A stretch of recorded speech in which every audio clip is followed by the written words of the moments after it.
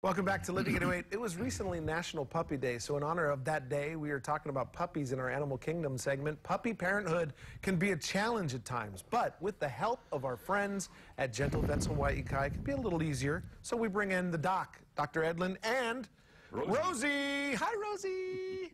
Who is not a puppy, but acts like one. She acts like a puppy. You know, one of the problems is, is we don't see enough puppies anymore. Um, and so scrambling for a puppy, and it's like, well, she acts like a puppy. Yeah, But no. yeah, puppies are few and far between these days. It's, we love them. So um, once in a while, you can find a puppy at the Humane Society, but where's a good place to, to get a puppy?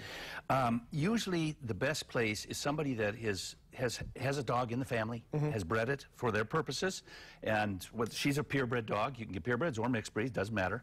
Um, but you, when you get a, a purebred dog, you'll understand what their personality is going to be.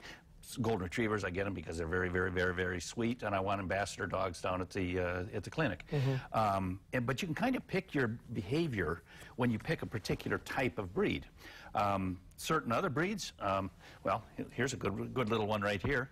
Um, this looks like a really sweet puppy, but uh, I just saw this recently. Um, but this is what you don't want your to be.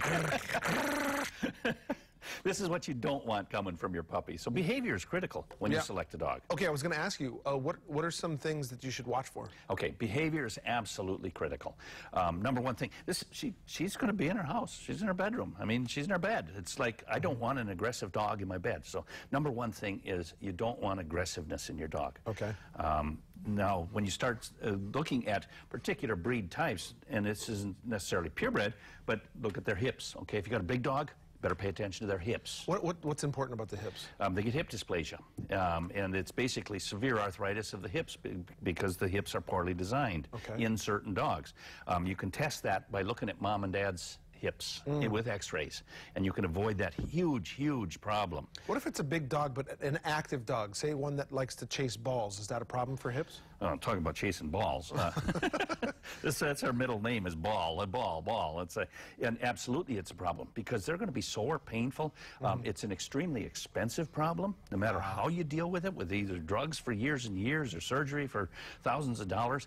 So the best way to avoid the heartbreak is look at mom and dad's hip x-rays. Have a, have a veterinarian take x-rays and look at those hips. So, uh, okay, I don't think you're saying then to avoid the dog altogether, but maybe certain activities, or are you saying No, I would avoid trying to get that puppy. Really? Yeah, Wow, yeah, okay, because okay. it's going to be, if, if you think about it, it's going to be a ten to twenty thousand dollar problem over the course of the lifespan. okay. So don't think, okay, well I'm going to buy this dog for five hundred dollars instead of that one for two thousand because I want to save fifteen hundred dollars, and you buy yourself a fifteen thousand dollar problem. Okay, so what are some of the most important things to do once you get a puppy then? Okay, critically important is socialization. um, they've got to get socialized, and Okay. that, uh, the, the way to do that is puppy kindergarten. That's why we offer puppy kindergarten to our clients free of charge. It's so critically important. We don't want anybody not coming to kindergarten. Okay. Um, they've got to learn how to behave around other dogs and other people, and that is done between uh, six and 16 weeks. Your window closes basically at 16 weeks. There's hardwires going down in the brain up until that point as far as how they're going to behave for the rest of their life. Okay. Um, she, unfortunately, we didn't get her until she's 14 and didn't get a chance to get her properly socialized. She's still quite dog shy. She's actually afraid of this toy. Um, she's, she's shy of this toy. I can see that her temperament changed real quick when you put Yeah, she's, af- she's actually afraid of this toy. It's, al- it's almost as if she's submitting. Yeah, Yeah. yeah. she, she's afraid of the thing. It's like, whoa, I'm afraid of it because she wasn't properly But yet she's not afraid of this one. Uh, she was when I first introduced her to it. Now she realizes it's just a toy. Maybe I can go retrieve it. um, uh, some, uh, if anybody has any questions, how can they get a hold of you, or how, what, what can they do? They just come down and visit. Come down and visit or give us a call, 395-2020, 395-2020. Uh, easy to remember. Um, but uh, by all means, come in when you get a puppy. There's a whole bunch of other things we need to talk about. We need to talk about food. Uh, we need to talk about uh, uh, parasite control, um, behavior, um, and uh, all the medical care that they may need. Um, certainly would recommend insurance on any dog these days. Yeah, Um, okay. So definitely come in, um, and we can uh, get you, and also get you set up in, in puppy kindergarten. Like I say, that is the most critical thing. There's actually an interesting thing that happens in old school and in highly uh, diseased areas. We're really worried about their vaccines as puppies. Parvo in particular. Um, and so a lot of veterinarians are recommending don't bring your puppy out until he's 16 weeks old.